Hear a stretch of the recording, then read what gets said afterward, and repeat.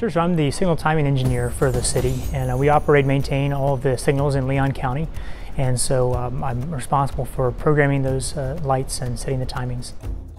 Uh, Tonight we had an opportunity to engage with uh, some citizens that were interested in signal timing and we had an opportunity to show them what we do, how we do it, how we come up with signal timings and uh, kind of how things I live in Capitol Hills. I'm with the neighborhood association, and I'm just interested in how the city works. And when people complain, it's nice to know, you know, uh, what the story is behind. And, I assume that it's more than just, uh, oh wow, I had to wait a long time at a red light or what. Passion was obvious.